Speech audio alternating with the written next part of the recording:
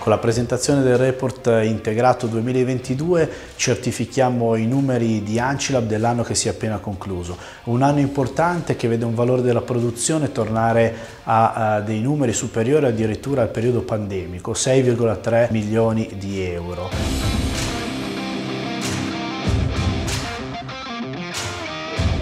Siamo riusciti a procedere speditamente, a collaborare con oltre mille comuni e oggi Ancilab è addirittura presente in 16 regioni italiane.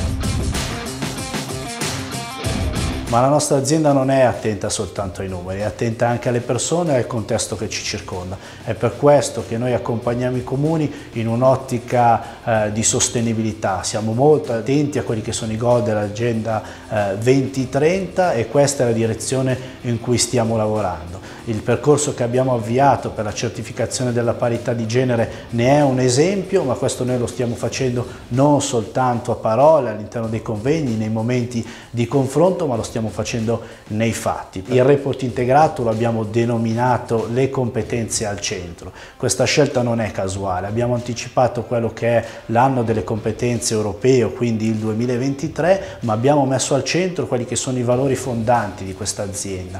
Eh, non soltanto la produzione di servizi ma la valorizzazione delle persone. Eh, nel 2022 abbiamo svolto quasi 6.000 ore di formazione ai dipendenti comunali e non solo. Questo certifica che la nostra azienda è attiva, che sta svolgendo un servizio qualitativo ed è per questo che noi eh, ribadiamo che le competenze vanno messe al centro. Le persone sono al centro di questa progettualità e di quello che faremo per il futuro, per i comuni e non solo.